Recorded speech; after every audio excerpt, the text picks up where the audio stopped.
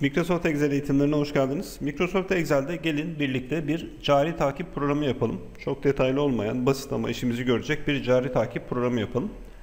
Bunun için öncelikle carilerimizi ayrı bir Excel sayfasında oluşturalım ve bunları bir cari sayfası oluşturalım. Ayrı bir sayfada da veri giriş sayfasında da bu cari sayfasında oluşturduğumuz değerleri cari veri giriş sayfasında kullanalım. Daha sonra da üçüncü bir sayfada raporlarımızı oluşturalım. Sayfa birimiz veri giriş sayfası olsun. Yeni bir sayfa ekleyelim. Buraya da cariler diyerek carilerimizi tanımlayalım. Örneğin 5 tane cari tanımlayayım ben. Prestige,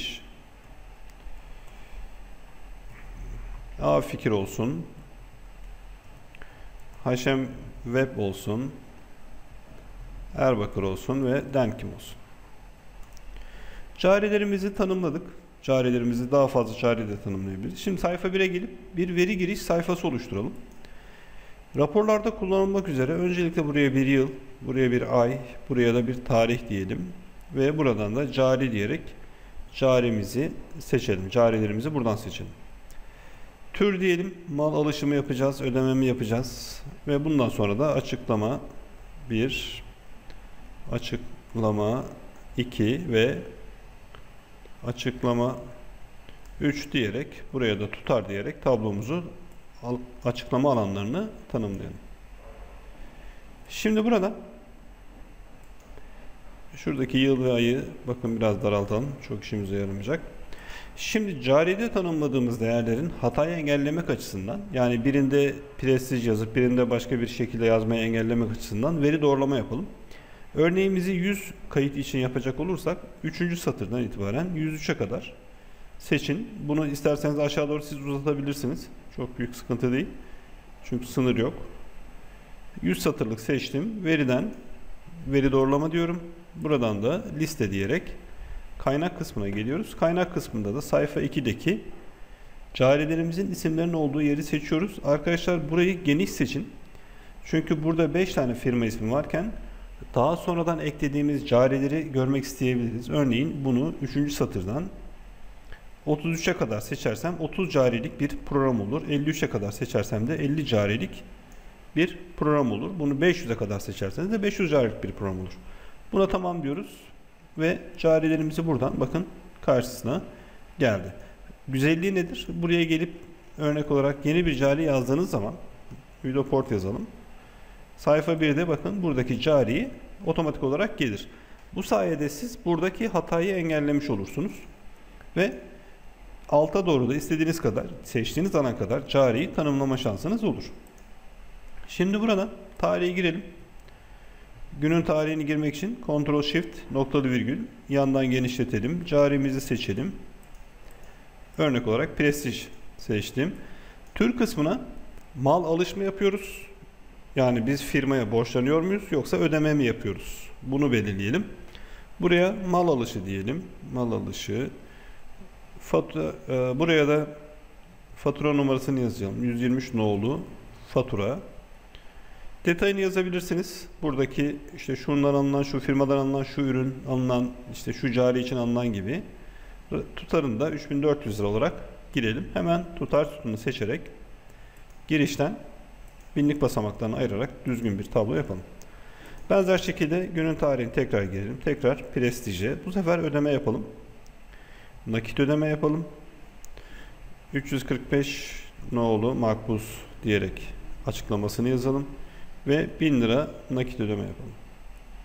Tekrar prestije geldik. Prestij ödeme tekrar. Banka ödemesi. Garanti Bankası şunu oğlu hesap diyebiliriz açıklamasını. Bunu yazmak zorunda değilsiniz.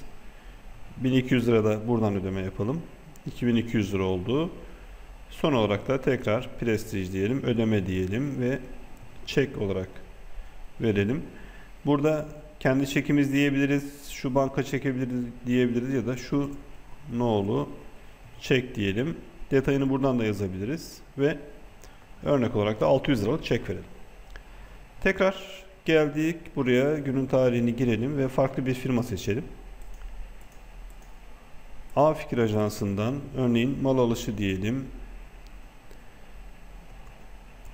Noğlu fatura Açıklamasını yazabilirsiniz. Kurumsal kimlik diyebiliriz ve 5000 liralık bir faturamız olsun. Bu arkadaşlara da tekrar A Fikir Ajansı'na ödeme yapalım. Çek ödemesi yapalım.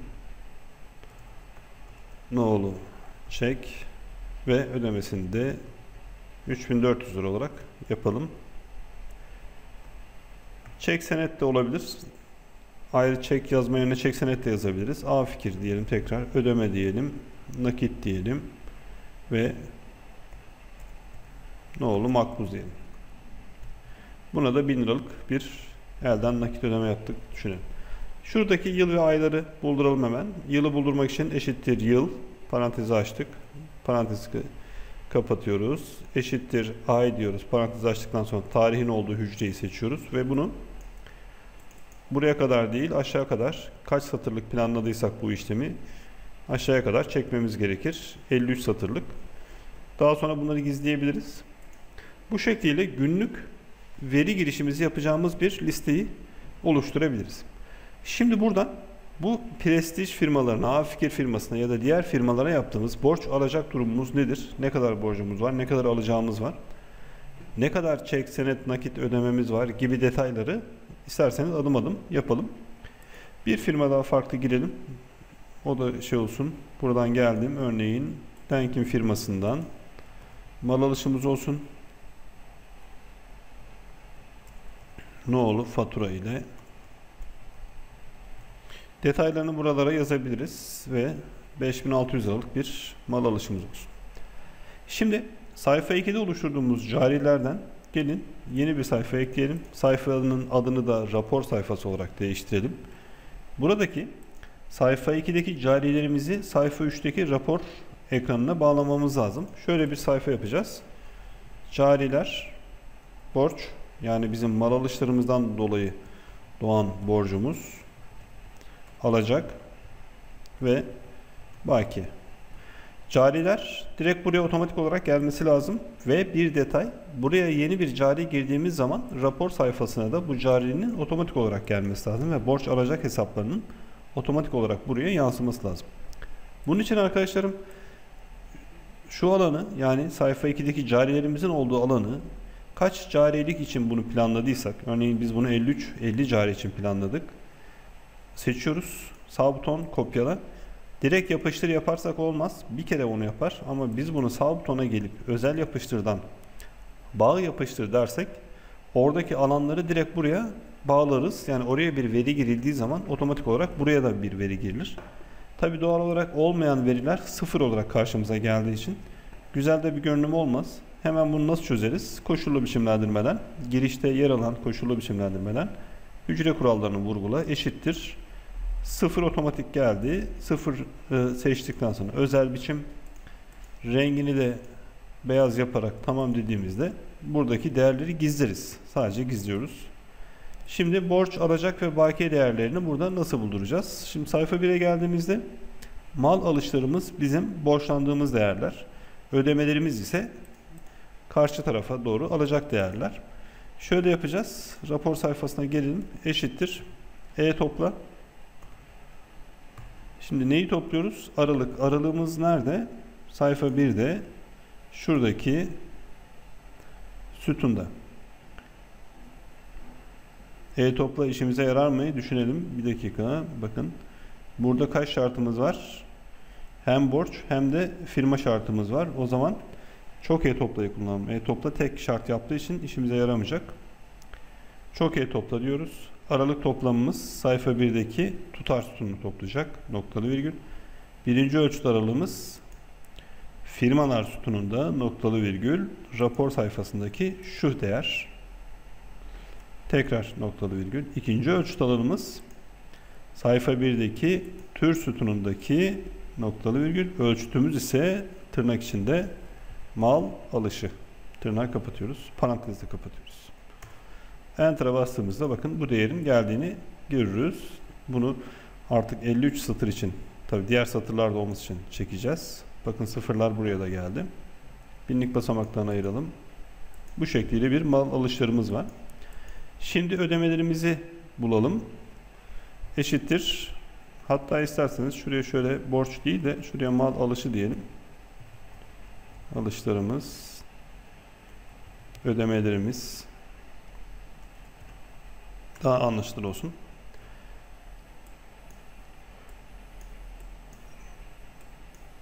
Ve baki. Evet. Ödemeyi bulmak için tekrar çok e topla parantezi açtık. Aralık toplamımız benzer şekilde tutar sütunu noktalı virgül. Birinci ölçütümüz firmalar sütununda noktalı virgül git rapor sayfasındaki şu firmayı topla noktalı virgül. İkinci ölçütümüz sayfa 1'deki şu sütunda tür sütununda tırnak içinde ödeme değerlerini topla. Yani Prestige'in yaptığı ödemelerin toplamını bul ve bunu da aşağı doğru çektiğimizde ve binlik basamaklarını ayıralım. Evet. Hangi firmadan ne kadarlık mal almışız? Bakın ne kadarlık bir ödememiz var ve doğal olarak da bakiyemiz burada nedir? Bunu buradan rahatlıkla bulabiliriz. Şimdi hemen şuradan şöyle seçelim. Tekrar bakın. Tablonun ilk hücresine tıkladım. Ctrl Shift sağ ok, aşağı ok. Tüm değerleri seçtik. Koşullu biçimlendirmeden hücre kurallarını vurguladan eşittir. 0 ise özel biçimden geliyoruz. Buradan renk kısmından beyazı seçip tamam dediğimizde buradaki bakın değerlerin artık gözükmediğini, gizledik gözükmediğini görürsünüz. Bunları hemen isterseniz şuradan kenarlık gibi eklemeleri rahatlıkla hızlı bir şekilde yapabiliriz. Videoport'a bakın bir alış ve ödeme girelim. Sayfa 1'e geldik. Bunun tarihini girdim. Buradan Videoport'u seçiyorum. Mal alışı girdim. 45 nolu fatura diyelim ve 3300 liralık bir ödeme girelim. Şimdi bu ödemenin rapor sayfasına yansımış olması lazım. Bakın Videoport'a 3300 liralık mal alışımız olduğu için borçlandık. Bakiyesi de bizde 3300 lira gösteriyor. Burada şunu da yapabilir miyiz? Düşünmek gerekir. Ee, mal alışı yüksekse eksi olsun, eksi değer göstersin gibi yapılabilir. Şimdi tekrar Videoport'a örneğin 14 ya da 1.9 tarihinde Videoport'a ödeme yapalım. Çek ödemesi yapalım. Detayını girmeden 2300 liralık bir çekimiz olsun. Bir detay Tarihi dikkat ediyorsanız 1.9 geldi. Hemen tarih sütununu seçin. Şuradaki hızlı biçimlendirmeden kısa tarih seçin. Tarih düzelsin. Rapor sayfasına baktığınız zaman da görünen video porta 1000, 1000 liralık bir bakiyenizin olduğudur. Şimdi şunu yapalım. Aynı sayfaya isterseniz carilerin tekrar cariler nakit çek senet çek senet de yazabilirdik. Banka gibi. Ve toplam diyerek acaba hangi cariye ne kadar nakit, ne kadar çek, ne kadar bankayla ödeme yapmışız bunu görün. Benzer şekilde sayfa 2'deki carilerimizin kaç carimiz varsa kaç carilik bir plan yaptıysak kopyalıyoruz. Rapor sayfasına geldik. Tekrar özel yapıştırdan bağ yapıştır diyerek bunları buraya alıyoruz. Sıfırları en son komple kaldıralım. Şimdi nakit acaba ne kadar olmuş? Bakın eşittir. E topla işimize yaramaz. Tek şart değil iki şart var. Hem prestij olacak hem nakit olacak. Çok E topla tekrar yapacağız. Çok E topla aralık toplamımız sayfa 1'deki tutar sütunumuz. Bunlara alışın artık basit şeyler.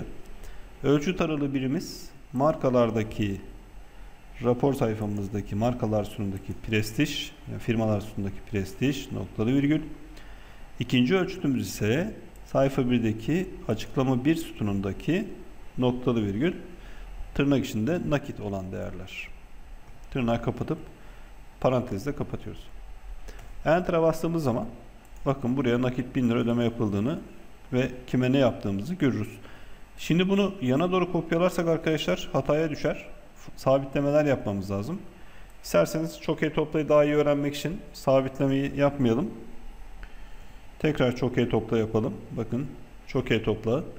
Aralık toplamımız sayfa 1'deki tutar sütunumuz noktalı virgül. Ölçüt bir aralığımız markalar, cariler kısmındaki firma isimleri. Ölçüt birimiz ise şurada oluşturduğumuz rapordaki prestij noktalı virgül. İkinci ölçüt aralığımız sayfa 1'deki açıklama bir sütunu. İkinci ölçütümüz ise sanırım bankaydı. Banka değerleri. Enter'a bastığımızda çekmiş. Düzeltelim.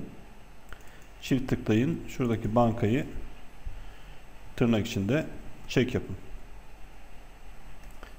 Enter'a bastığınızda şey yaparız. Bunu aşağı doğru çektiğimiz zaman aşağı doğru çektiğimiz zaman diğer değerlerin hesaplandığını görürüz. Bankayı hesaplayalım. Tek, tekrar çok e topla.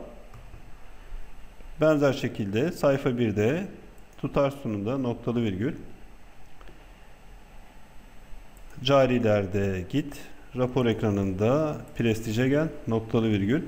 Tekrar sayfa 1'de buradaki yerde de tırnak içinde çek deyip tırnak kapatalım. Parantezde kapatalım. Enter'a bastığımız zaman bunlar da karşımıza gelir ve genel toplamları da eşittir. Topla diyerek bu değerleri buradan alıp Enter'a bastığımızda işlemleri rahatlıkla yapabiliriz. Toplam değerleri bulduktan sonra şöyle yapalım. Bu tabloyu komple seçelim. Ve benzer şekilde koşullu biçimlendirmeden hücre kurallarını vurgula eşittir 0 diyerek ve özel biçim diyerek buradan beyazı seçip isterseniz bunları bu şekilde tekrar gizleyebilirsiniz. Artık burada tabi binlik basamaklarını yaptıktan sonra belki tekrar yapmak lazım. Evet. Burada tek bir sayfadan firmaya olan bütün borcunuzu, bakiyenizi, alacağınızı, borcunuzu alacağınızı ve detaylarını da buradan görmeniz mümkün. Hatta istersek ayrı bir sayfada da gerçi burada da görüyoruz onu. Hani ayrı bir yan tarafta da mal alışlarımızı da yapalım mı? Gerek yok. Burada zaten görülebiliyor. Microsoft Excel eğitimlerine hoş geldiniz. Microsoft Excel'de gelin birlikte bir kasa programı yapalım. Yani işletmemizin kasasını, gelir ve giderini tutabileceğimiz, bunların raporlarını oluşturabileceğimiz güzel bir uygulama yapalım. Biraz uzun bir uygulama ve belki bir iki kısımdan oluşabilecek bir uygulama.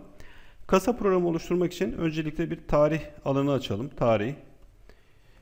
Gelir ve gideri yazabileceğimiz bir tür diye alan belirleyelim ve açıklamaları yazabileceğimiz örneğin açıklamalar 1, açıklamalar 2 diye farklı farklı 3-4 tane açıklama alanı yazalım ki burası daha şey olsun. Kullanacağız bunları. Şuraya da açıklama 3 ve açıklama 4. Buraya da tutar diyelim. Bunları yazalım. Hemen hızlı bir şekilde tablomuzu biçimlendirelim. Şunları seçelim ve genişletelim. Şu şekliyle. Şunu da açıklama 1 olarak düzeltelim. Türümüz gelir ve gider. Başka bir türümüz yok. Tarihimiz günün tarihleri yani o günkü alış para girişlerini ve çıkışlarını yazacağımız yerler. Örneğin bunu 100 satır için planlarsak birden işte A2'den itibaren 100'e kadar seçelim. Ve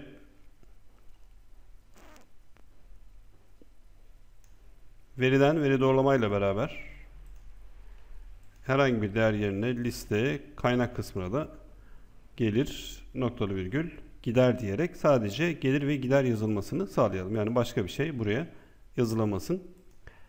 Burada şimdi tarihimizi girelim. Günün tarihini girmek için Ctrl Shift noktalı virgül türümüz gelir.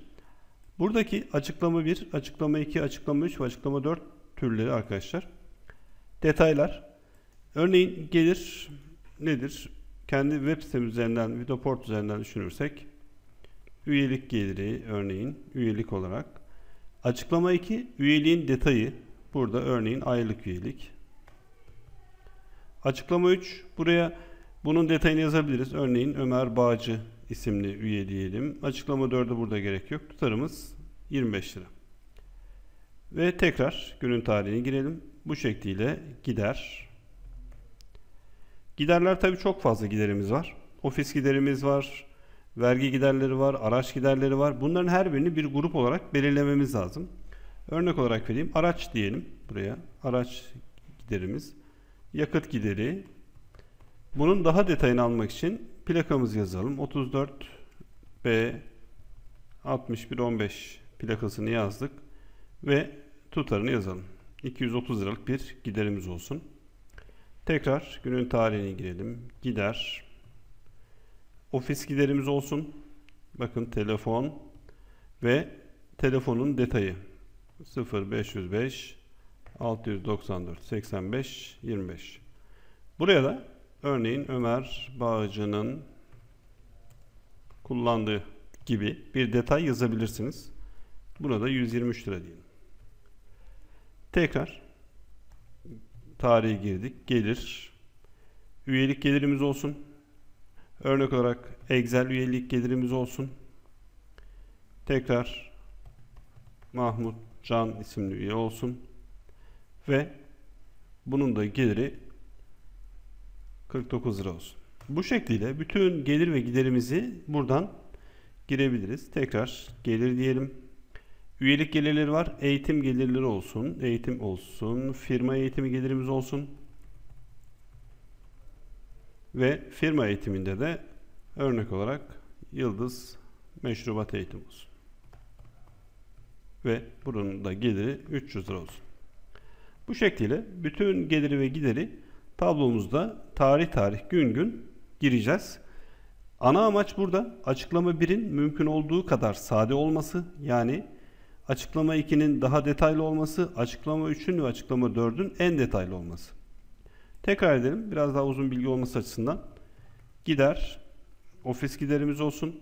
Ofisimizde telefon gideri vardı. Örneğin mutfak gideri olsun. Mutfak giderleri diye bir başlık açalım. Buraya da işte market alışverişi diye detayını yazalım. Ve 45 lira gitsin. Tekrar gideri detaylandırmak açısından gider vergi giderlerimiz olsun. Bakın vergi başlığı altında olsun bu giderimiz. Örnek olarak SGK prim olsun. Prim ödemesi diyelim ve Haziran e, Ağustos ödemesi diyelim. Örnek olarak da 400 lira Ağustos ödemesi olsun. Açıklama 1 mümkün olduğu kadar sade, daha az. Açıklama 2 onun altında biraz daha detaylı. Açıklama 3 ve açıklama 4 daha detaylı. Çünkü biz geliri gider türlerini alacağız. Açıklama 1'i ve açıklama 2'yi kullanacağız. Bir de tutarları kullanacağız. Tekrar bakın gider diyelim. Ofis giderlerimiz olsun. Telefon giderimiz olsun ve 0505 694 85 26 nolu telefon olsun. Bu da Mustafa Bey'in kullandığı gibi bir detay yazalım. Buna da 23 lira gitsin. Bu şekilde günün tarihlerini girerek arkadaşlar gelirlerimiz bakın tekrar eğitim gelirimiz, firma eğitim gelirimiz, örnek olarak Interpro yazalım. Interpro eğitim gelirimiz olsun. Buraya bunun detayını yazabilirim. Bununla ilgili ileri Excel eğitimi diyebilirim. İleri Excel eğitimleri. Bundan da 400 lira, 450 lira kazancımız olsun. Şimdi raporlarımızı oluşturabilmek için burada ay ve yılı ayıralım. Daha çünkü bize kolay olur. Buradan hemen bir sütun ekleyerek hatta iki sütun ekleyerek buraya yıl diyelim. Çünkü bunları rapor alırken kullanacağız. Bunları da buraya da ay diyelim. Yılı bulmak için eşittir yıl parantez açıyoruz ve girdiğimiz tarihin yılı. Ayı bulmak için de eşittir ay diyoruz. Bunun ayını buluyoruz. Burayı kaç satır için istiyoruz? 100 satır olarak planlamıştık. 100 satır olarak çekelim. Ve 100 satırda bunu bırakalım. Bunlar 1901 olarak gelecek boş olduğu için. Şimdi gelirlerimiz belli, giderlerimiz belli, tutarlarımız belli. Şuraya da kasa diye bir kasa durumu diye bir başlık açalım ve gelir eksi gider yani anlık kasa durumumuzu buradan görebilirim. Buradan başlıklarımı seçerek bunları hemen biçimlendireyim.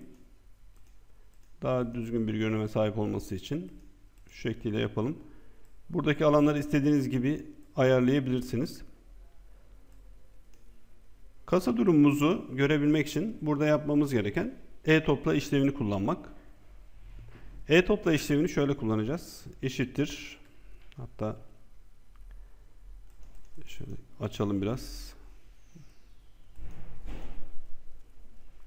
Eşittir. E-topla diyoruz. Parantezi açtık. Aralık kısmımız toplam alacağımız aralık gelir 2 nokta üst üste tekrar gelir D3 ve ilk D3'e tıklayıp F4'te bunu sabitliyoruz. Bunu örnekten önceden de yaptık. Noktalı virgül ölçütümüz gelir noktalı virgül. Toplam alacağımız aralık tutar. 2 nokta üst üste tekrar tutar ve tekrar ilk tutar kısmını F4 ile sabitliyoruz. Buradan bu satıra kadarki gelirleri bulduk. Eksi tekrar E topla yapacağız. Ama burada şu hataya düşelim. Bakın tekrar E topla yapacağız. Şunu hemen seçelim. Ctrl C ile beraber, Ctrl V ile beraber yapıştıralım. Burasını D3 olarak, gelir olarak belirledik ama bir sıralamada gider de olabilirdi, gelir de olabilirdi. Kafa karıştırır. Onun için tırnak içinde gelir diyelim, tırnak kapatalım. Aynı benzer mantıkla buraya da tırnak içinde gider diyelim, tırnak kapatalım ve sondaki ifadeyi de kapatalım. Bunu yaptıktan sonra bunu aşağı doğru 100 satıra doğru çekelim. Bakın 100 satırlık bilgiyi çekelim. Kasa durumumuzun 3 lira artıda olduğunu görürüz. Hemen buradan bunu belirleyip ve istersek de şuradan detaylardan para birimi koyacaksak para birimi yoksa sayı birimlerinde eksiği negatif göster şeklinde. Bakın kasa eksiye düşmüş sonra tekrar artıya geçmiş. Şimdi tabi burada hoş gözükmeyen şeyler var. Bunu yaptıktan sonra e, koşullu biçimlendirmeyi kullanarak buradaki rakamları gizleyelim arkadaşlar. Şuradaki rakamlar gözükmesin. Çünkü hoş da değil. Gözükmesin bunlar. Buraya bilgi girildiği zaman yani tutar kısmı dolu olduğunda buradaki rakamlar gözüksün. A3'ten itibaren tablomuzun tamamını seçelim. 100 satırlık tablomuzu seçiyoruz. Koşullu biçimlendirme. Buradan yeni kural. Formül kullan. Ve formül kullan kısmında nasıl bir işlem yapmamız lazım? Şimdi dememiz lazım ki eğer I3'teki değer boş ise yani burası boş ise rakam yoksa verileri beyaz olarak göster gizli şeklinde eşittir I3 ama I3 yazdıktan sonra F4 ile beraber I'yi sabitliyoruz. I sütununda olduğunu anlaması için eşittir. Tırnak tırnak şeklinde belirleyelim. Yani I3'teki değer eşittir boş ise biçimlendir'e gelin yazı rengini beyaz olarak yapıp tamam ve tekrar tamam dediğinizde bakın buradaki değerlerin gizlendiğini görürsünüz. Artık buraya biz herhangi bir değer yazarsak bakın değer otomatik olarak gelecektir. Şimdi buradan istersek şunu da yapabiliriz. Anlık olarak gelir toplamı, gider toplamı gibi değerleri üste yazdırabiliriz. Ama burada özet tablolar oluşturarak bu raporlamaları yapalım. Çok daha kolay olur. Anlık olarak kasamızı gördük, günlük olarak değerlerimizi gördük ve şimdi aylık raporları oluşturalım. Aylık gelir raporumuz nedir? Aylık gider raporumuz nedir? gibi raporlar oluşturalım. Bunun için de isterseniz şöyle yapalım. Bakın şuradaki 2 3 adresi seçip kontrol H yapalım. Aranan nokta 8 nokta 8. ay değerlerini nokta 7 nokta olarak da tarihleri 7. ay olarak değiştirelim. Ki 2 ay birden bunu görme şansımız olsun. Ve tablomuzun içine tıkladıktan sonra ekleden pivot table özet tablo 100 satırlık alanımız yeni çalışma sayfası aç. Tamam diyoruz. Buradan artık yılı filtreye ay ifadesini sütuna aylara göre bakın değerler.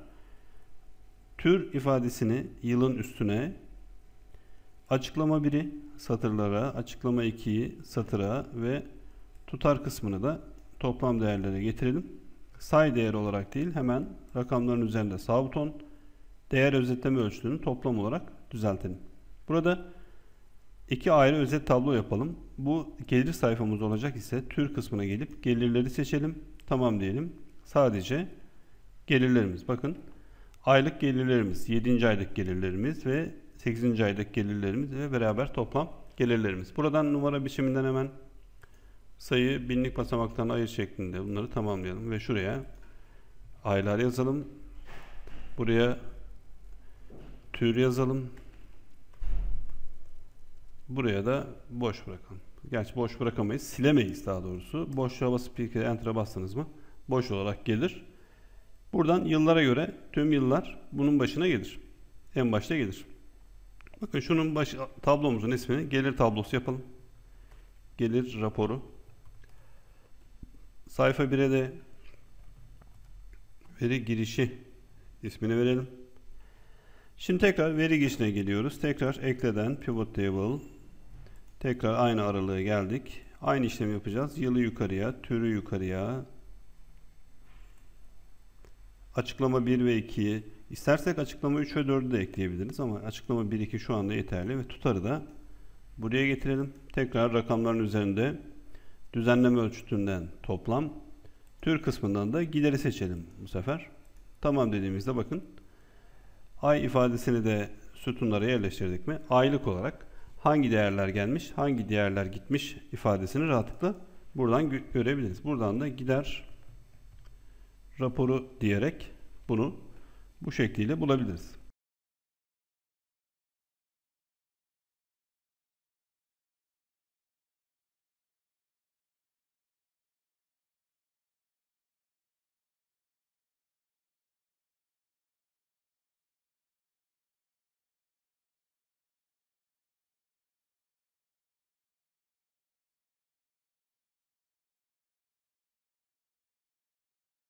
Microsoft Excel eğitimlerine hoş geldiniz. Microsoft Excel'de üyelerimizden gelen bir soruyu beraberce çözmeye çalışalım.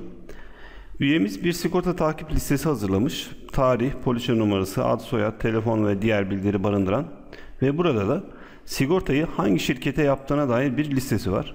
İstediği olay da şu. Bu listeye veri girdiğinde yani şuraya yeni bir satır girdiğinde şurada yazdığı firma ismini Aviva, Allianz ya da HDI gibi firmaları yazdığında alt tarafta yer alan Aviva sayfasına, Allianz sayfasına ya da HDI sayfasına otomatik olarak artmasını sağlamak. Yani günlük olarak buraya listesini yazacak. Kişi buradan günlük listeyi yazacak ama hangi firmayı yazarsa Aviva'ya, Aviva'ya, Allianz'a, Allianz'a, Ege ise Ege'ye ya da HDI ise otomatik olarak bu listeler gidecek. Şöyle yapalım. S takip dosyamızı, Aviva dosyamızı, Ege ve HDI dosyalarını ve Allianz dosyasını Kontrole basarak sayfaları seçiyorum. Sağ buton taşı veya kopyala diyerek bunun yeni bir kitaba buradan kopya oluştur diyerek atalım. Eski kitabımızdan kurtulalım. Şimdi burada yapmamız gereken arkadaşlar eğer işlemini kullanmak ama eğer say işlemini kullanırken ilginç bir yöntem uygulayacağız. Bunu önceki eğitimlerde de göstermiştim. Yapmamız gereken şuradaki her şirket sayısının kaç defa geçtiğini saydırmak. Ve buna göre de şuradaki tablolarda düzenlemeler yaparak eğer sayıyla beraber tekrar burada ve düşey arayı kullanarak burada çözüme gitmek. Şöyle yapalım. Şuradan örneğin A'ya bir sütun ekleyelim. Ve buraya şuradaki Aviva ifadesinin, Allianz ifadesinin, HT ifadesinin kaç defa geçtiğini saydırmak için eğer say işlevini kullanalım. Bunun için eşittir. Biraz büyüteyim isterseniz. Eğer say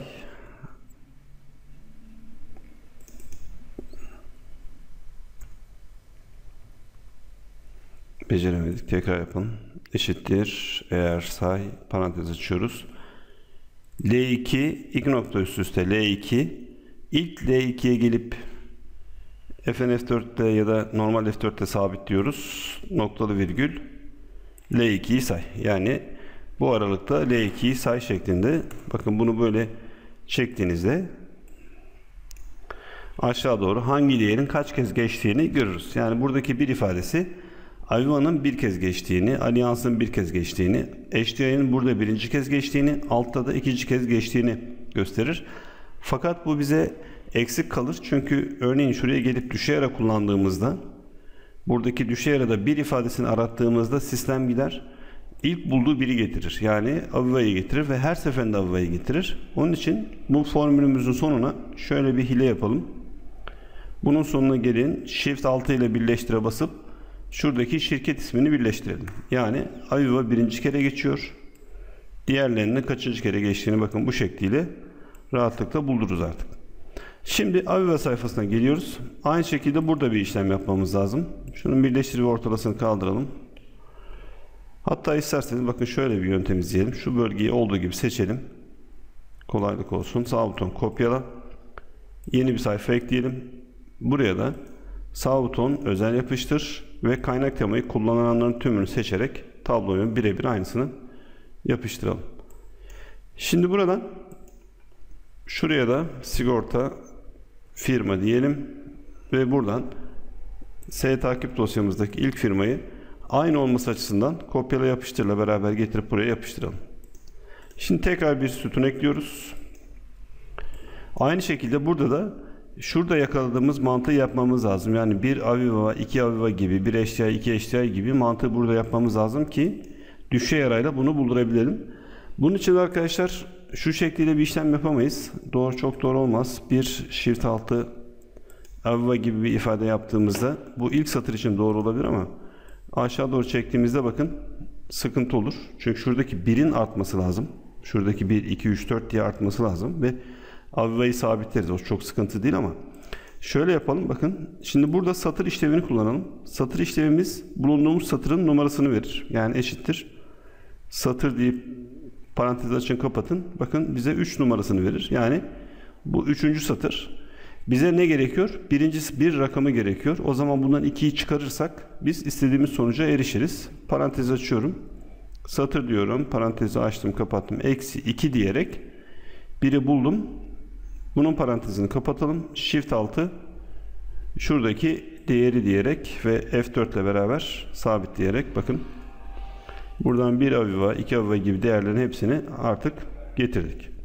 Şimdi buraya yeni bir aviva değerini girdiğimizde sistem otomatikman burasının iki aviva olarak getirecektir. O zaman da buradan sayfa alttaki iki aviva değerini rahatlıkla bulabiliriz. Şimdi düşey arayı kullanarak buradaki şu bir aviva değerini gidelim şu tabloda aratalım ve istediğimiz şu satırlar kaçıncı satırlarsa sütunlarsa onları buraya getirelim. Bunun için eşittir düşey ara.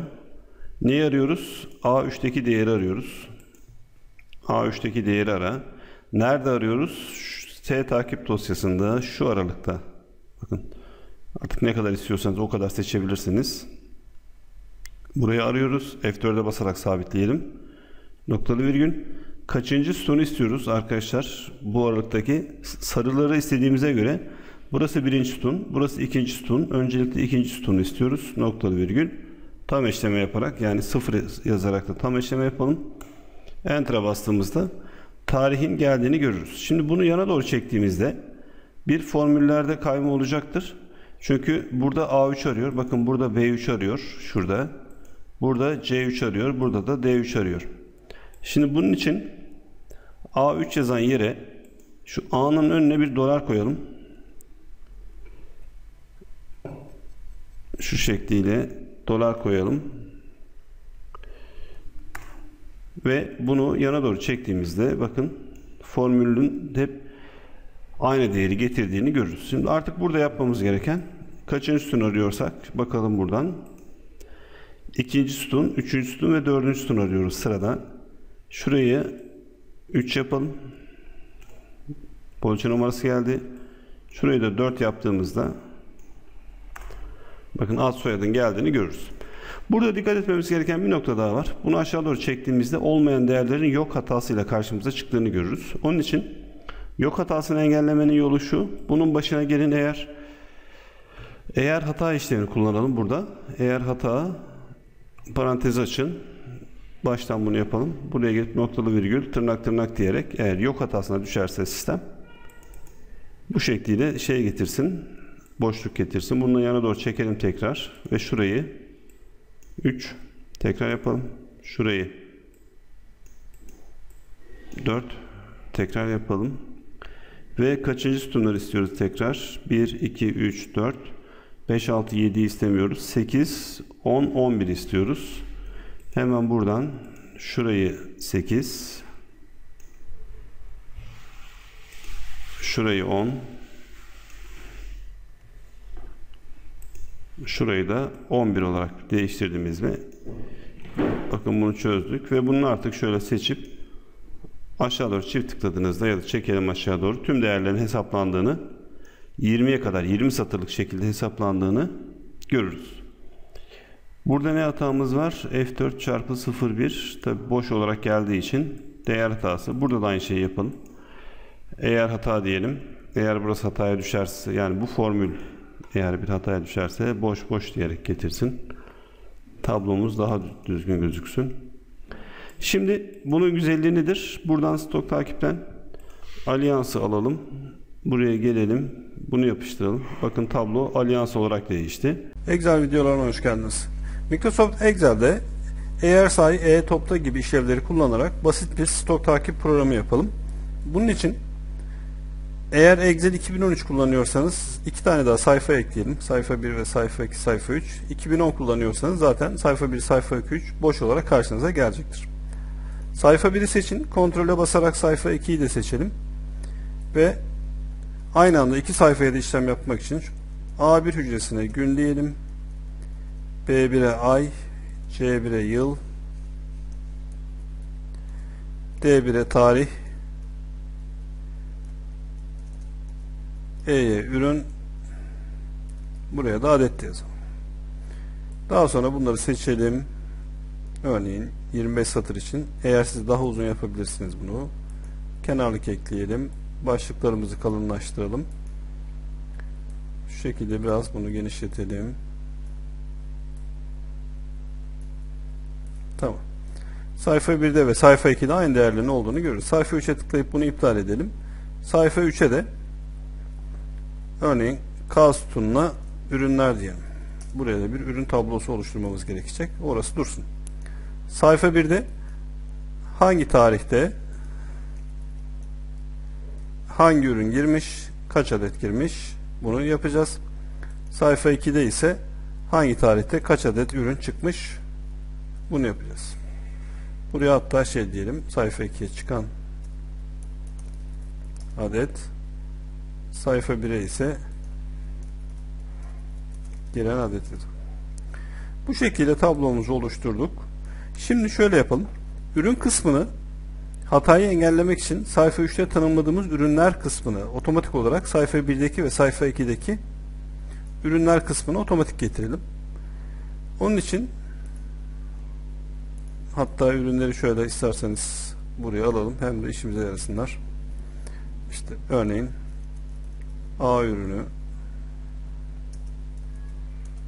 B ürünü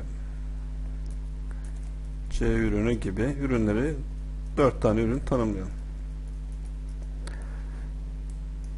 Buradaki ABC ürünlerini ya da tanımladığımız ürünleri seçerek geniş bir alanda seçiyorum ad tanımlama kısmından ürün olarak burayı tanımlıyorum.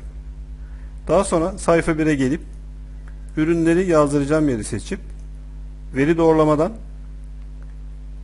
veri doğrulamadan buradan listeyi seçiyoruz. Kaynak kısmında da F3'e basıp ürünü seçip tamam diyelim ve tekrar tamam diyelim. Bakın buraya ürünleri getirdik. Benzer şekilde sayfa 2'ye geçip Tekrar ürünlerin olduğu yeri seçelim. Veri doğrulamadan liste F3'e basıp ürünü seçip tamam. Bu şekilde de bunları getirdik. Şimdi gün, ay, yıl ve değerlerini hesaplatmak için eşittir gün deyip girmiş olduğumuz yani ürünü aldığımız tarihin gününü hesaplatalım. Eşittir ay diyerek buradaki tarihi hesaplatalım benzer şekilde de eşittir yıl diyerek buradaki tarihi hesaplatalım. Bunları da aşağı doğru çekelim. Hazır olsun. Şu üç formülümüzü kopyalayıp sayfa 2'ye direkt yapıştırsak Evet benzer şey buraya da geldi ve bunu da aşağı çekelim. Şimdi buradan tarihi Ctrl Shift noktalı virgülle günün tarihini giriyorum. Örneğin B ürünü girmiş 20 adet girmiş. Bunun detayı daha yapılabilir. Tekrar aynı tarihte A ürünü girsin. Buradan da 30 tane girsin. Çıkanlara bakalım. Tarihe geldik. Bugün A ürünü çıkmış. 2 tane çıkmış. Tekrar Bunları barkod dahi yapıp barkodlardan bile bunları okutup sisteme otomatik getirilebilir. Bir tane çıkmış. Sayfa 1'in ismini giren sayfa 2'nin ismini çıkan sayfa 3'ü de anlık stok olarak isimlerini değiştirelim.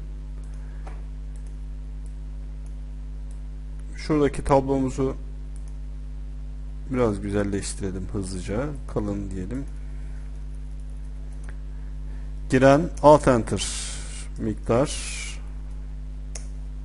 aynı şekilde çıkan bir alt almak için alt enter miktar ve mevcut ya da anlık alt enter stok.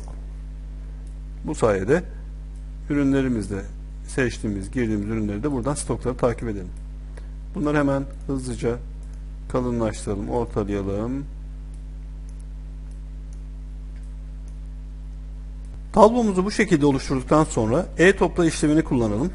Eşittir e-topla aralığımız git giren tablosundaki e sütunundaki ürünler kısmını say topla ve anlık stoktaki A ürünü say noktalı virgül git girendeki giren miktarını topla. Parantez kapatıyoruz. Enter'a bastığımızda bize sayıyı veriyor. Direkt sütunları seçtiğim için bunu aşağı doğru da çekebilirim. Benzer şekilde çıkanı bulalım. Eşittir e topla parantezi açtık. Çıkan kısmındaki ürünler sayfasında git anlık stoktaki A'yı say ve çıkandaki kaç adet çıktığını bul. Enter'a bastığınızda da buradan çıkan adeti bulursunuz. Anlık stok bulmak kolay artık. Eşittir. Giren eksi çıkan dediğimizde hangi üründen kaç tane kaldığını rahatlıkla görürüz. Şimdi gelin tekrar bugün C ürünümüz girsin ve 100 tane girsin. Tekrar bugün D ürünümüz girsin ve 150 125 tane girsin. Çıkana bakalım. Bugün C ürünümüzden bakın diğerleri gözükmüyor. Yukarıda kaldığı için C ürünümüzden 5 tane çıksın sadece. Yeni bir ürünümüz olsun. Buraya da diyelim ki E ürünü girene gelelim. Tekrar bugün tıkladık. Bakın E ürün otomatik gelir. E ürününden 200 tane girsin. Ve tekrar bugün E ürününden 50 tane çıksın. Anlık stoğumuza bakalım. Bakın hangi üründen anlık olarak kaç tane girmiş, kaç tane kalmış bunu görürüz. Bu basit düzeyde e-toplayı kullanarak yaptığımız bir işlem. Hangi tarihte, hangi ayda kaç tane ürün girmiş, çıkmış şeklindeki sorularımızın cevabı özet tablolar kullanmamız gerekir. Onu da ilerleyen örneklerimizde yapacağız. Microsoft Excel videolarına hoş geldiniz. Microsoft Excel'de gelin adım adım ilerleyerek birlikte bir kasa programı yapalım. Kasa programında günün tarihini girerek, gelir mi, gider mi bunların da kalemlerini girerek verilerimizi bir sayfaya girelim. Daha sonra da başka bir sayfada bu girdiğimiz verilerden özet tablolar oluşturarak gelir sayfamızı ayrı, gider sayfamızı ayrı tutabiliriz. Ayrı aynı sayfada da tutabiliriz. Bunları adım adım yapalım. Şimdi mantık olarak düşündüğümüzde bir veri sayfamız olması lazım. Burada tarihimizi gireceğiz. Tarihi girdikten sonra gelir mi gider mi bunu girmemiz gerekiyor. Sonra gelirse ne tür gelir bunun açıklamasıyla giderse ne tür gider bunun açıklamasıyla bunları girip rakamları girdikten sonra da bu raporları otomatikman oluşturacağız. Şöyle yapalım. A1'e ay diyelim. B1'e yıl diyelim. Yani girmiş olduğumuz tarihin C1'e de tarih diyelim. Buraya tarihi girdik. Yıl ve ayı otomatik olarak ayırdık. Buraya da tür diyelim arkadaşlar. Yani bu gelir mi gider mi? Gelir kalemi mi gider kalemi mi? Bunu tek gelir tutup raporları gelire göre, tek gider tutup raporları gidere göre de alabiliriz. Buraya da açıklama diyelim. Buraya açıklama 1 Buraya da açıklama 2. Yerine göre bu 3, 4, 5 diye de uzayabilir. Buraya da tutar. Örneğin şöyle mesela bir tane türümüz gider olsun. Açıklamamız araç giderimiz olsun. Yakıt olsun mesela. Bakın açıklama 2 işte 61 15 plakalı aracımız olsun. Şöyle yapalım. B 6115 plakalı aracımız olsun. 75 lira yakıt alsın. Gibi. Buraya tarihe girelim. Günün tarihini girmek için Ctrl Shift noktalı virgül Enter.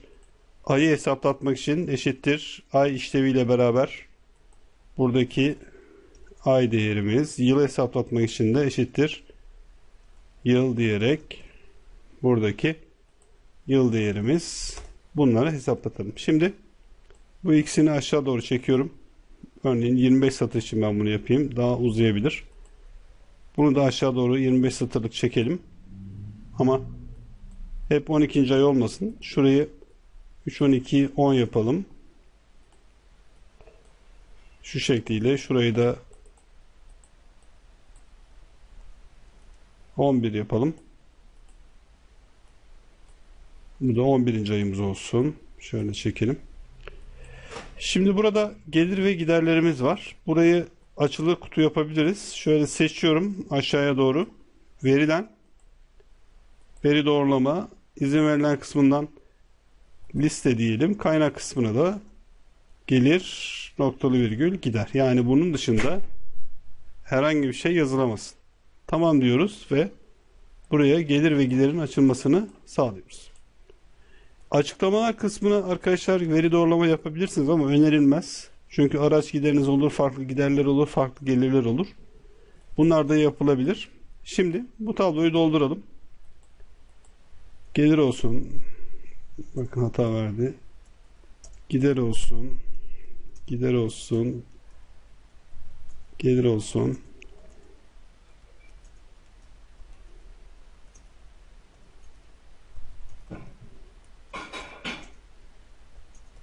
Burası gelir olsun, burası gider olsun. Gelir, gelir ve gider diye gidelim. Şimdi gelir türlerimizde örneğin gelir türümüz üyelik gelirimiz. Aylık üyelik şeklinde yazalım. Açıklama kısmına da örneğin aylık üye olan üyemiz Ömer Bağcı 25 lira yazalım. Gider kısmımıza ofis giderimiz olsun, kira giderimiz olsun ve Aralık ayı giderimiz olsun. Örneğin 1250 lira kira giderimiz olsun. Benzer şekilde ofis giderimiz olsun, telefon giderimiz olsun bu sefer 0505 694 85 25 nolu telefonumuzun gideri olsun 95 lira olsun. Bakın bu şekliyle bütün gelirleri ve giderleri tek tek girmemiz gerekebilir. Burada personel gideri yazalım. Ne kadar detay istiyorsanız o kadar detaylı yazmak gerekir. Personel giderimiz Mahmut Can olsun. Maaş gideri olsun. Ve bu da 1450 lira olsun. Gelirimiz tekrar üyelik gelirimiz. Bu sefer yıllık üyeliğimiz olsun. Açıklama kısmını da Berker Şahin yazalım. Yıllık üyeliğimiz 99 lira. Bunu yapalım. Tekrar gelirde tekrar üyelik yıllık gelirimiz üyeliğimiz olsun tekrar. Özcan olsun. Özcan Çokeroğlu. Tekrar 99 lira. Tekrar üyelik gelirimiz. Excel üyeliğimiz olsun. Excel üyeliği buraya da Yavuz Alp Pekel olsun. Excel üyeliğimiz 49 lira. Giderlerimiz binlerce gider var bir işletmenin. Ofis gideri olsun. Kira telefon örneğin. Mutfak gideri olsun. Burada eğer mutfak giderini ayırmak istiyorsanız ofis yerine mutfak yazabilirsiniz. İşte diyelim ki yemek gider olsun. Bu da 253 lira olsun. Tekrar ofis tekrar yakıt ve 6115 75 liralık yakıtımız olsun. Tekrar ofis, telefon 0505 694 85 26 olsun. 41 lira. Üyelik, tekrar üyelik. Yıllık üyeliğimiz tekrar.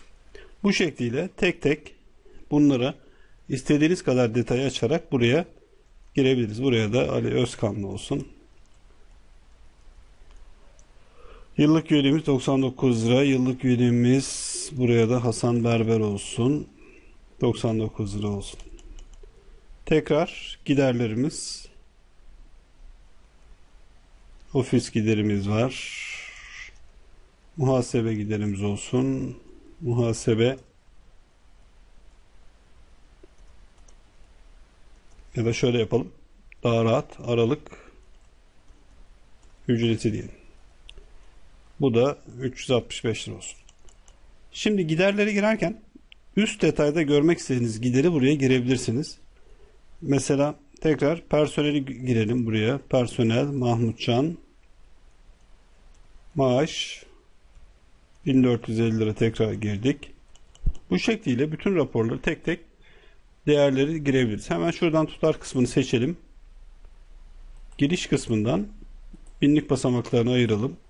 Şu başlıklarımızı şöyle seçip kalınlaştıralım ve şuraya tıklayıp A2'ye tıklayıp görünümden bölmeleri dondur diyerek üst satırı dondur diyelim ki şu şekliyle aşağı doğru indiğimizde başlıklarımız sürekli sabit kalsın.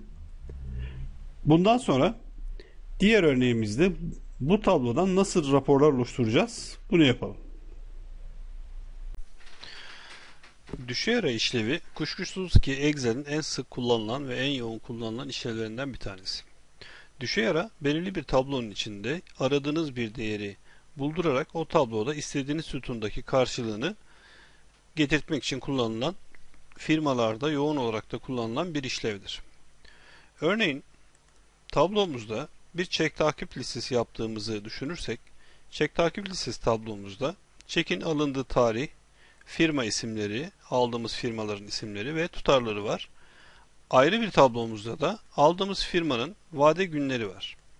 Yani biz çeki Erbakır'dan almışsak vadesi 20 gün, Arenko'dan almışsak 25 gün, Evtex'ten almışsak da 30 gün, Karsan'dan almışsak da 36 gün gibi vadeler var.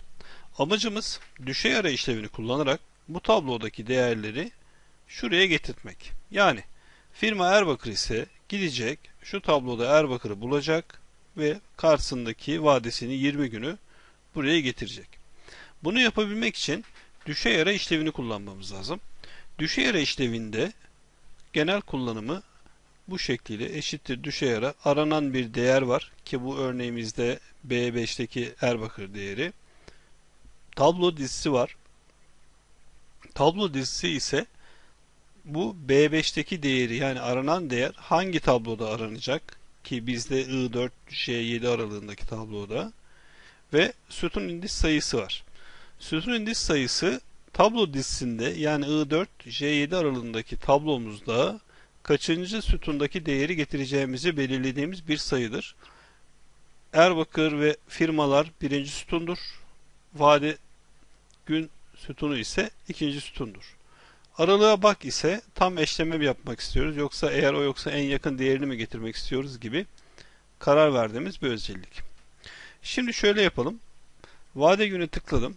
Eşittir. Düşey ara. Bakın burada düğü bastıktan sonra düşey ara aşağıda otomatikman açıldı. Sekme tuşuna ya da tab tuşuna basarak otomatikman gerisini getirebilirim.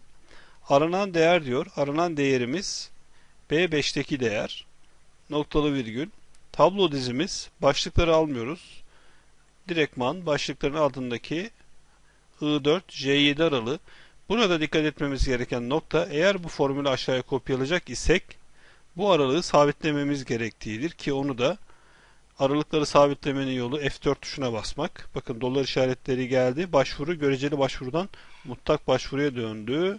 Noktalı virgül Sütun indis sayısı bu I4-C7 aralığında ki kaçıncı sütundaki değeri getirmek istiyoruz. Birinci sütunumuz firma isimleri, ikinci sütunumuz ise vade günleri. Bizim amacımız vadeye getirmek olduğu için 2 yazıyoruz. İkinci sütun demek bu. Noktalı virgül tam eşleme yapsın deyip yanlış da yazabiliriz ya da direktman sıfır da koyabiliriz. Parantezi kapatıyorum. Enter'a bastığım zaman gidiyor Erbakır firmasını bu tabloda arıyor. Tablo dizisinde arıyor.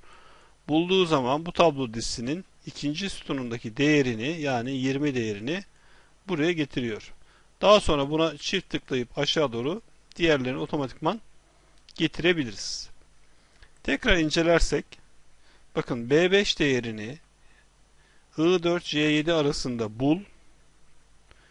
Eğer varsa I4C7 arasındaki aralığının ikinci sütunundaki değerini getir demek. Bu formülün açıklaması. Tahsil tarihini ise eşittir. Tarih artı vade gün diyerek topladığımızda 20 gün sonrasını bulup çift tıkladığımız zaman da diğer tahsil tarihlerini bulabiliriz. Düşey aranın kullanım amacı bu şekildedir.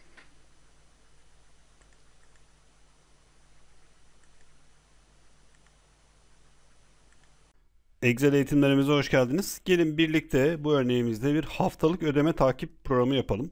Elimizde bir tablo var. Tabloda tarihlerimiz var, firmalarımız var ve bu firmaya ait fatura bilgisi olan faturanın vadesi, açıklaması ve tutarı var. Bu genişleyebilir arkadaşlar. Yana doğru bunu uzatabilirsiniz. Ek açıklama alanları ekleyerek. Ama temel kanı faturanın alındığı tarih hangi firmaya ait olduğu, vadesinin ne olduğu, hangi nolu fatura olduğu ve tutarının ne kadar olduğu.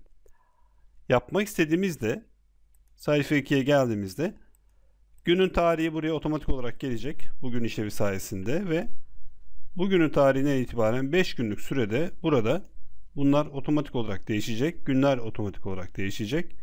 Alttaki toplam değerlerimiz de otomatik olarak değişecek. Yani siz Excel'de bu dosyayı açtığınız an bu hafta kime, hangi firmaya ne kadar ödemeniz var? Haftalık olarak bunu otomatik olarak göreceksiniz. Şöyle yapalım.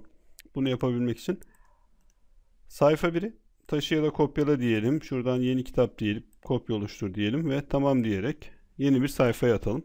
Yeni bir kitaba atalım. Kitap 1 olarak karşımıza geldi. Şimdi yeni bir sayfa ekleyelim buraya. Şuraya günün tarihi diyelim. Ve tarihi getirmek için de eşittir. Bugün şeklinde tarihimizi otomatik olarak getirin. Şuraya firmalar. Şimdi buradaki firmaların yazmış olduğumuz firmaları buraya otomatik olarak getirmemiz lazım. Burada şöyle bir sıkıntımız var. Buraya rastgele bir firma yazarsak sistem bunu algılamaz. Onun için şöyle bir mantık güttük. Şuraya üste firmaları buraya tanımlayın. Öncelikle örneğin buraya yeni bir firma tanımlaması yapın ve burayı alta yeni firma gireceğinizi düşünerekten şu şekliyle uzun bir örneğin 20-30 satır seçerek altta da boş alanlar bırakıp sağ buton kopyala diyelim ve sayfa 2'ye gelip direkt sağ buton yapıştır diyemeyiz. Yapıştır dediğimiz an bilgiler buraya yapışır ama sayfa 1'e yeni bir firma eklediğimizde o firma buraya gelmez. Onun için özel yapıştır. Buradan da bağ yapıştır diyerek oradaki firmaları bakın buraya getiriyoruz. Artık ben sayfa 1'e buraya gelip örneğin Videoport diye yeni bir firma tanımlaması yaparsam buraya da bakın aynı firmanın buraya geldiğini görürüm. Şimdi buraya da şu tarihten itibaren birer gün arttırarak gelmemiz lazım. Eşittir E1 F4'te sabitleyelim. Artı 1 dememiz lazım ki 20'si olsun. Buraya artı 2, artı 3, artı 4, artı 5 gibi değerleri diyebilirsiniz. İsterseniz şöyle yapın. Buradan sırayla tekrar şu şekilde 2, 3, 4 ve 5 olarak yapalım. Hatta şunları isterseniz şöyle seçerek bir satır, iki satır aşağıya alalım.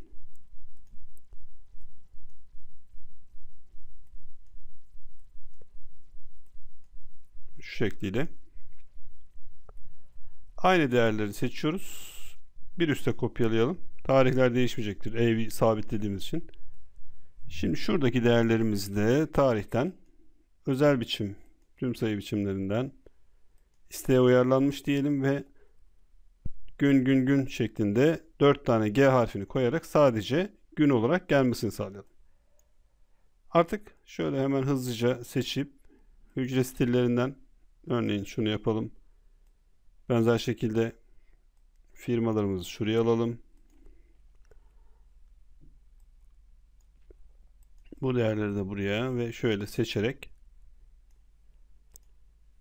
burada örneğin açık bir vurgu şekli yapabiliriz. Tablomuzun tamamını seçelim. Şu şekliyle. Kenarlığımızı uygulayalım. Ve ortalamadır, kalınlaştırmadır gibi işlemleri rahatlıkla buradan yapalım. Şunların sütunların hepsini birden seçerek standart bir genişliğe getireyim. Benzer şekilde şuradan seçerek standart bir genişliğe getirelim.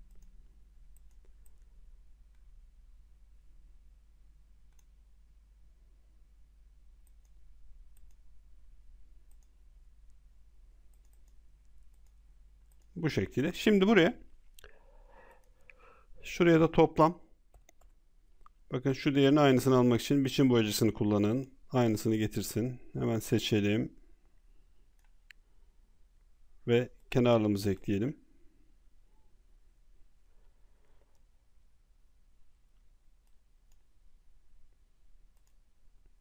Aynı şekilde şurayı da mavi yapalım. Güzel gözüksün.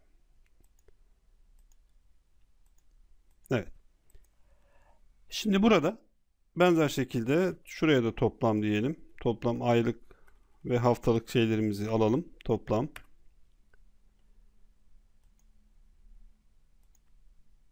Buradaki biçimi aynen buraya uygulayalım ve seçerek kenarlarını da ekleyelim. Şimdi arkadaşlar şurada sıfır değerlerimiz var. Bunları gizlememiz lazım.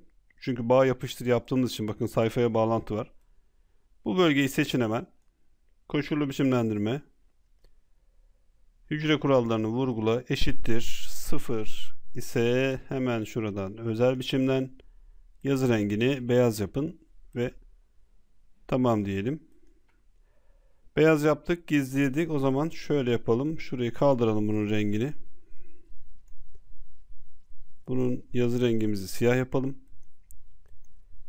ve zemin rengimizi hücre şekli stillerinden normale döndürelim. Kalın ve 12 evet şu hale getirdik.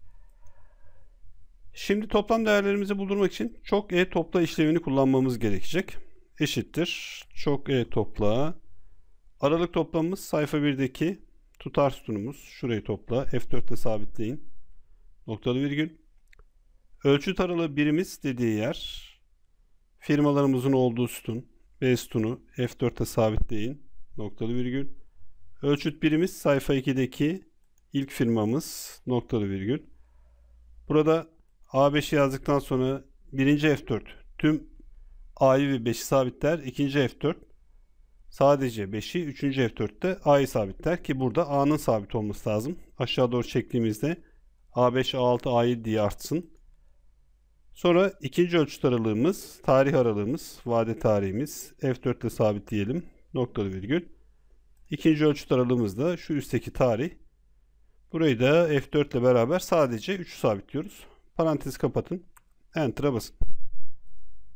Bunu aşağı doğru çektiğinizde toplamlar hariç diğer değerlerin geldiğini yana doğru çektiğimizde de bakın diğer değerlerin geldiğini görürüz. Şimdi buradan yazı boyutumuzu 13 yapalım. Binlik basamaklarını ayıralım. Şu şekliyle. Toplamlarımız buna gerek yok. Burayı toplam aldıracağız. Ve toplamlarımızı aldıralım. Benzer şekilde şuraya da toplamlarımızı aldıracağız. Üst tarafı toplayacağız.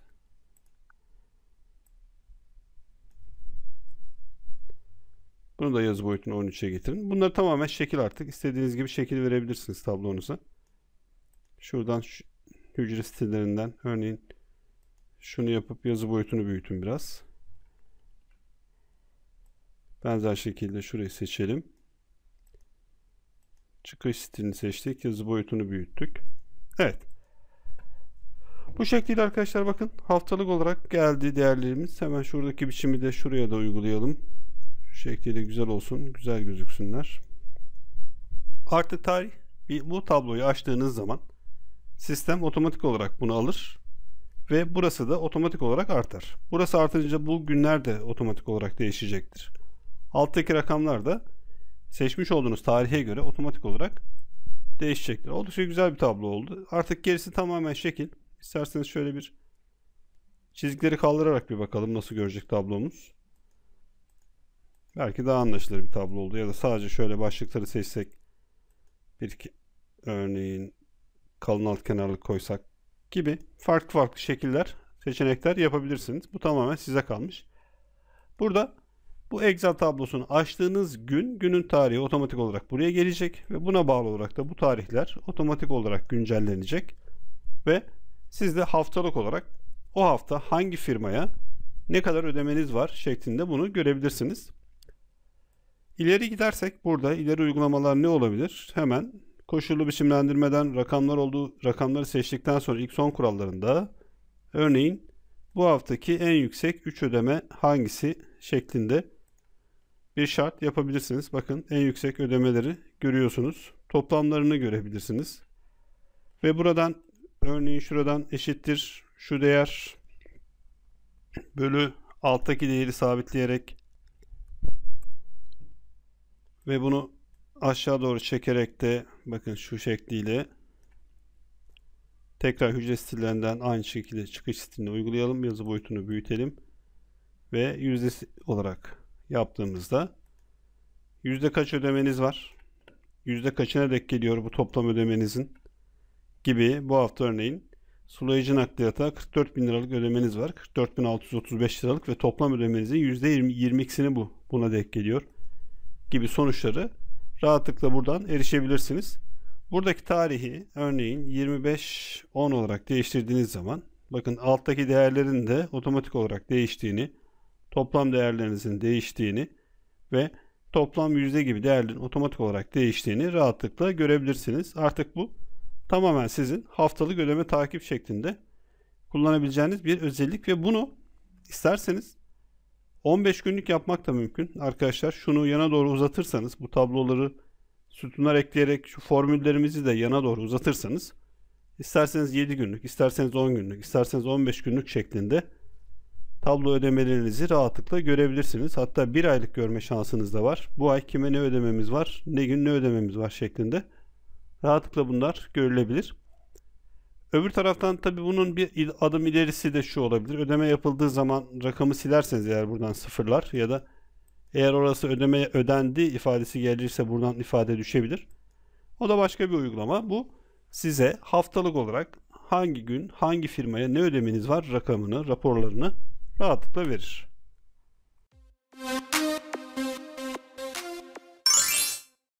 Microsoft Excel eğitimlerine hoş geldiniz. Microsoft Excel'de satır ekleme işlevi yaptığınız zaman Excel'deki 16386 hücreye birden satır eklemesi yaparsınız. Örneğin buradaki 4 değerin üzerine gelip sağ butona basıp ekle dediğimizde buraya bir tabloya bir satır ekleriz ama yanındaki tablonun da bozulduğunu görürsünüz. Böyle bir durumda arkadaşlar tabloya satır ekleme yerine hücre ekleme işlemini yapmamız lazım. Bakın buradaki değerleri seçiyorum ve tekrar sağ butona basarak Buradan ekle komutunu seçiyoruz. Ekle komutunu seçtikten sonra da hücreleri aşağı sürükle diyerek yandaki tabloyu bozmadan buradaki tablomuza bir hücre grubunu eklemiş oluyoruz. Şimdi bunun daha kolay bir yolu var. Excel'de çok da bilinmeyen bir yoldur. Örneğin bu değerleri seçtikten sonra buraya bir satır eklemek için doldurma kulpuna geliyoruz ve klavyeden Shift tuşuna basıp aşağı doğru çektiğinizde kaç hücre çekerseniz o kadar satırın eklendiğini görürsünüz. Oldukça pratik ve güzel bir yoldur bu yöntem. Örneğin Bakın tekrar kapatmak için de seçiyorum. Shift'e bastım. Doldurma kulpundan. İşaretçi zaten yatay yok. Yatay çizgi ve aşağı yukarı oklar şeklinde gelir. Bu şekilde kapatıp sıfırladığınızda da bakın yandaki tabloyu bozmadan satır ekleme işlemini rahatlıkla yapabilirsiniz. Tekrar edeyim. Tabloyu bakın büyüttüm ekranı.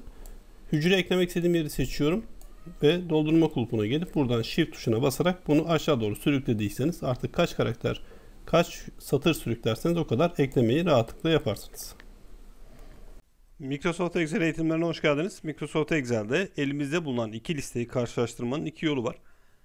Burada satır satır karşılaştırma yapabiliriz ya da liste liste karşılaştırma yapabiliriz. Örneğin eşittir dedikten sonra eğer A1 eşit B1 şeklinde bir karşılaştırma yaparak karşılıklı satırları eşleştirebiliriz. Eğer bunlar doğruysa Bakın aşağı doğru çektiğiniz zaman da doğru doğru yanlış şeklinde gelir ya da buraya örneğin Hasan yazdınız.